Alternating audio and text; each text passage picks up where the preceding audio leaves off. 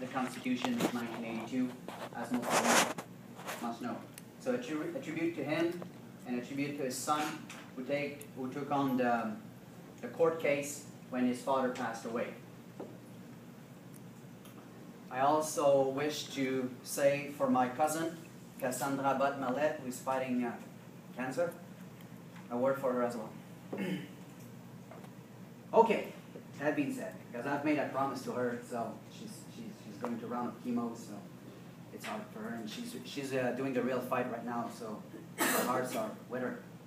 The objectives of today offer an early descriptions of academia which is a hot topic, and we're going to get there. Discuss the light in discuss this in lights of Paulate facts and key principles.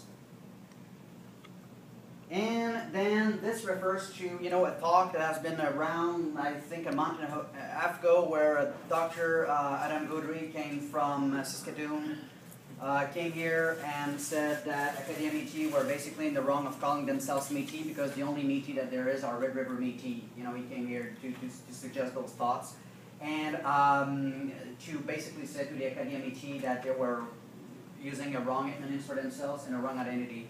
Uh, I was called after that to make a, a, counter narrative to that, to express that, which I'm going to revisit a bit today in boosted terms. Uh, essentially, the arguments can relate back to his friend and colleague, uh, Dr. Chris Adam Andersen, Chris Andersen, that presents this vision in a book that you can read for yourself, which is that book, Métis. Hello, welcome. Please come in. Um, in this book, uh, essentially, Chris Andersen presents his doctrines that uh, Métis word, the moniker, should be reserved only for the Red River Métis because basically only these people had uh, a density of population that went through a political crisis and moments of resistance that allowed their cohesion to be. And so because of that, the word Métis uh, should only apply to them as a name of a tribe, for example, if you would talk of the Cherokee, for example, or other nations. So the word should be there alone, theirs alone. And other people that don't subscribe to this philosophy are accused of appropriation or to, um, to be, uh, you know, mélangé or mixed about their own identities and culture. So there's a lot of tension in there in, in terms of that doctrine, and I will go through that, I hope, extensively in that presentation today, where I'm going to show from uh, the Powley case that the same argument that Dr. Andersen is presenting in his book were used by the Crown in the Powley court case to try to sabotage the Métis. Okay? So essentially, uh, and I'm going to show evidence to that if I can, or else you can email me and ask me for those evidence. I share them plenty on my Twitter account as well. So uh, basically, I, I show that um, Mr. Powley, the Crown, you know, in his, his memorandum when they went to the Supreme Court and appealing, they were saying, Are you kidding me? Powley is 164 Indian. And his son, it's even worse, right? So that blood quantum diluting um, arguments, as well as one more thing that is very interesting in that memorandum that people don't read, right? It's that the Crown state, look, we've treated Métis from an individual perspective for 300 years. Wow, the Crown admits to that, right? They admit that they're dealing with Métis people all across Canada. If you read the Bagot report, for example, in Lower Canada, you will see a differential treatments of the Métis there per evidence, not my opinion. And you will see that Métis are treated on an individual basis because they are all across the land through the French-Indian relationship. But furthermore, that's also an argument that the Crown suggested in Powley while going to the Supreme Court, that's way, way back when, to say, we don't own them a thing. They're not forming any collective. And indigenous rights are collective per their basis. Hence, if they don't have collectivities, we don't hand, we don't hone them what do? We don't, you know, we don't have to give them rights. So basically, they say too diluted, too white, not consistent in their affirmations because when you go through the family of the Powley, you understand through census that they self-identified as French Canadian, as white, as German, one place as an Indian, their records were all over the place according to, you know, probably their survival tactics through Wisconsin, Michigan, and Sault Ste. Marie. when you put all this picture together, the crown was tapping hard on that. These are not pure, these are not Métis, and these are certainly not a people. And what my argument is today, if I can summarize it, because I'm sure I'm going to miss time, but I want to say that, that to you now, is that that argument is now used by our own against Métis. The same argument that the Crown used to destroy the Powley case is now used by academics that are asking other Métis, where's your people? Well, our people has been sabotaged for 300 years. What are you talking about? Oh, you don't know what you're talking about. Really? Oh, the word Métis only belongs to us. Really? Well, I have quotes in here from elders from Alberta that says exactly the opposite. That said that they used to call themselves Canadiens and half-breed and all kinds of terms. And that the terms Métis was only used politically very recently. And that is in Alberta by Elder Gary Ladouceur that I'm saluting today. See, here's the thing. Once you know the traditions and you visit people on the ground, like I did two weeks ago, I was in Regina, Red River, Marawa. When you meet people from their families, above and beyond the abstractiveness of academic work today, that tries to just, you know, impose a meta language of nationalisms that would be pure and fair and one language, wonder, it doesn't work like that. We know that from our traditions. But there's so much violence right now in the, in the academic milieu. There's so much discrimination for a word that this madness, in my opinion, has to stop. And it has to stop because it leads to different politics, okay? This is the argument rehashed from Chris Andersen that essentially says that if you don't have this peoplehood consciousness as a sociologist as he is, you don't have a claim for a peoplehood. Government was saying the same to the Métis, which the Supreme Court basically rejected. Right? They rejected all of these arguments because the the Supreme Court won the argument, right? So early description of the Acadiamity, because a lot of people say, well, that's fair for you, Sebastian, in the Great Lakes and whatnot in the fur trade, but here in Acadia, there's only two people, the Acadian and the Mi'kmaq. They either went Mi'kmaq or they went Acadia. So I call this kind of a dual, dualistic logic that exclude the middle, right? Well, we have a lot of evidence that to show, and I'm going to go quickly through them. If you still, you know, if you want them, please ask me. But the common knowledge quote, right? This little quote here that suggests that the Acadian, the people are tall and well proportionate. Good on you guys, as I told before. They delight much in, in waving long hair. They are of dark complexion in general, and sometimes of the mixture of the Indian. But they are some of light complexion. They retain their language and custom of their neighbor, the French, with a mixed affectation with the, uh, of the native Indians. See here, there's kind of a, there, for outsider watcher, for people that looks at them, they're like kind of both, right? It shows distinctiveness. Not quite Indian, not quite French. What's going on in here? Then you say this quote, a lot of people, you know, are mulattoes with Indian blood, the same. This quote is from 1879, right? Primaries. People describing them way back when. That is prior Powley and all that politics, right? So I'm going quickly here because I know we're going to miss time. But here's important arguments for La Heve. Okay? Here's a quote saying that there's a body of people in La Heve, Nova Scotia, that are described as Métis. Okay? And here, look.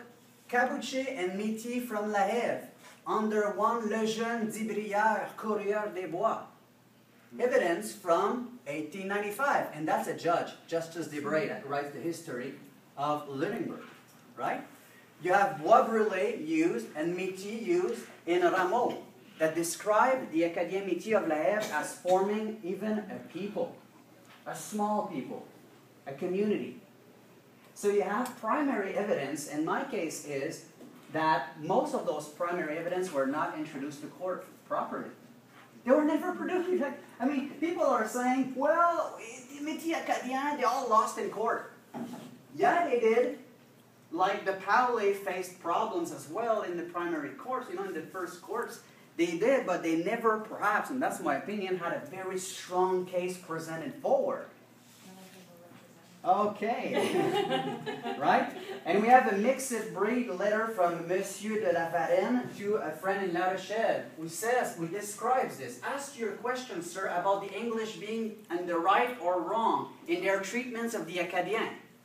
Let me describe to you what are the Acadians for him. They were a mixed breed, that is to say, most of them proceeded from marriage concubinage with a savage woman in their first settler. A lot of people will say to me, Sebastian, you're racist. Because it's only about mixing breed now. You're not talking about culture. You're not talking about peoplehood. You know, I'm serious, guys. You're not talking about something that makes a people a people. You're making this a racist lance, and you're stealing the Red River Thunder by taking the name Métis. Right? It's also about culture. It's also about culture because people were treated differently because of those names half-breed and Métis, when you were described as such, you were treated differently by the British, that were, according to primary evidence against, hunted down, scalped and killed, just like the Mi'kmaq. You were treated really differently, even according to Sigogne, you know, Father Sigogne, he wrote about the Acadiens and all that, according to primaries. Again, I don't have time to show it all of them, but I will share them with you gladly, including in articles that are coming. Father Sigogne says there's a lot of prejudice against the mixed blood and the people that have Indian blood in Acadia. He stated that right in the open. There's a discrimination in place with anything that touched to Indians. Now, you will say to me, I don't believe you still, Sebastian, you're full of it. You don't take a shower, you're not pretty, you're not nice. a lot of this on Twitter right now, right? you're, you're, against, you're against women, you're against... I heard it all, right? I heard it all in one week, okay? But here, okay, let me just present a few, a few cases here. Look at that. You, you, screen, if you can capture it. These are a newspaper article that goes back 1886. Not my opinions. In those news articles, there are six news articles, at least, that describe the Métis Acadien per name in Paspébiac, revolting against famine. They have no more food. They are describing these newspaper that you can, you can gladly read them for yourself and base your own opinion. They are suggesting that the Métis are, Métis Acadiens are from, are different, are distinct from the French, from the Anglo of that time, and from the Mi'kmaq. And they form collectivities even with chiefs that tries to riot in order to survive. These are described point blank as primary evidence. Now some people will say to me, Sebastian, even there you're not right. We need an affidavit of Métis Acadien that says, I'm a to, in order to have proof in writing that their self-consciousness was Métis. I'm saying back to these guys, are you kidding me? You're talking about fishermen people living in the bush trying to survive. You think that they will go around and says, I'm going to write for Chris Andersen a little paper here that says I'm a Métis forever? you really think that's what's going to happen? Right? I mean, it perhaps, perhaps it did happen for Louis Riel, because he wrote about the Métis.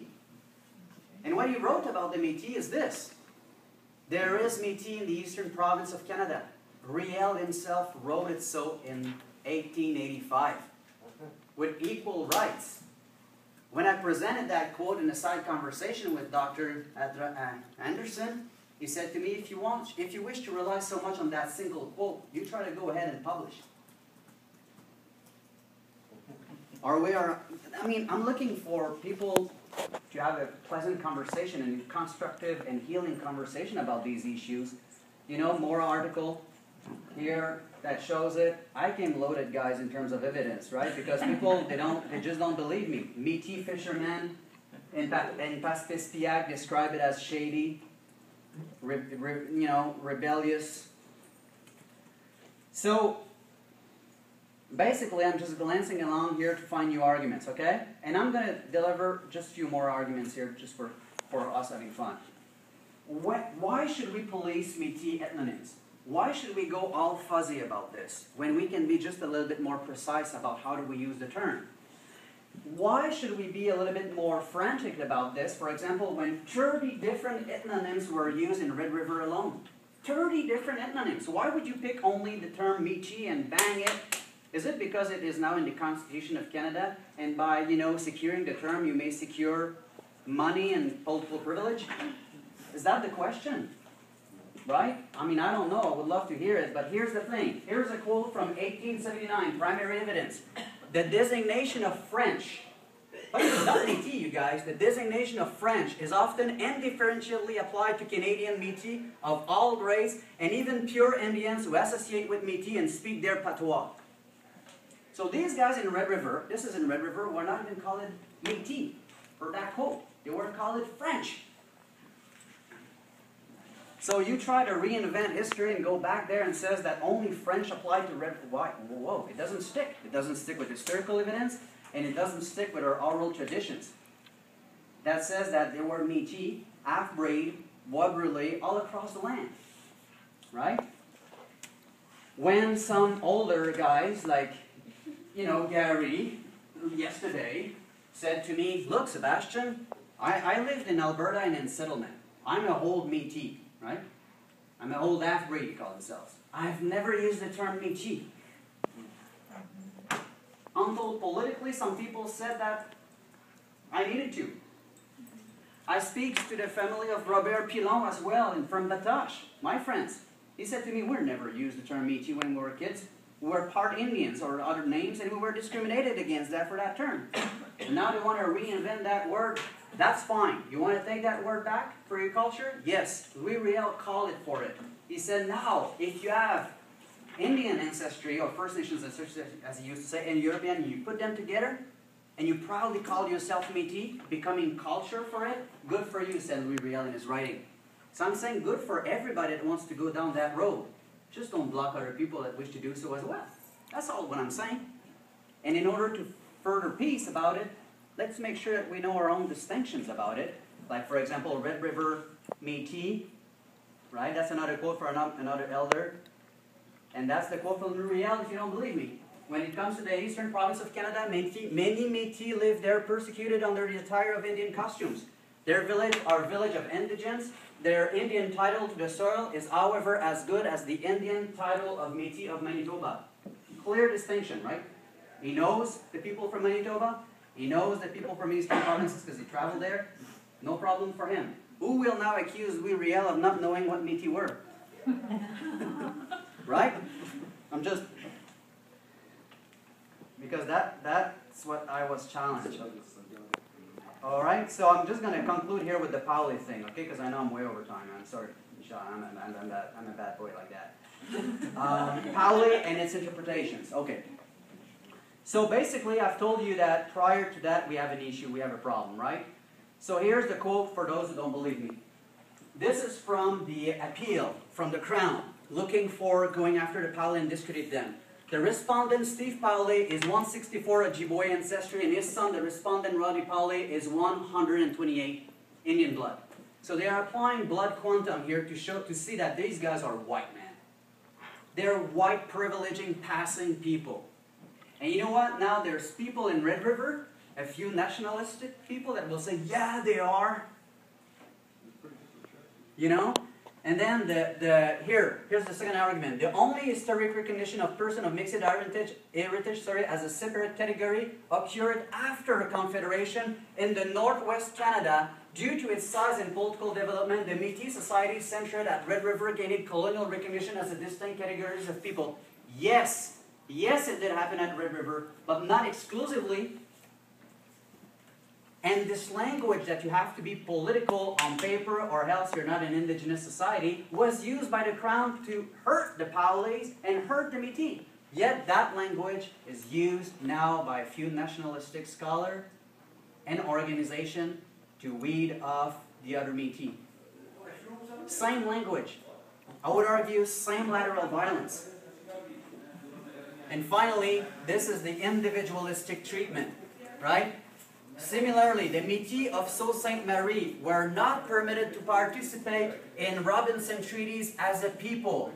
Their participation was as individuals. You have it. What I am told by other Métis from different people is this. You're not a Métis, you're maybe a mixed heritage person, but you don't deserve to be calling yourself a people and you don't deserve to be part of it, people. Now I'm saying this is highly problematic. It uses the same argument, the same colonial logic that tried to destroy our people for 300 years. And now it is rehashed and recast into those process. I'm suggesting that this language has to go. We have to find other ways in which to speak to one another, in respect of our difference, in respect of our vulnerabilities, in respect of resilience. And I would strongly encourage our Mi'kmaq friends not to fall for that doctrines. There is possibility to collaborate and to revive the possibility of old alliances between Akademiki and Mi'kmaq people around culture, around sharing, around mutual understanding. I'm sure of that. I've speak to both to some people on both sides right now. And that's what I hope that this presentation, which you know I just ran through, hopefully will bring to fore. I thank you very much for your time and for your listening.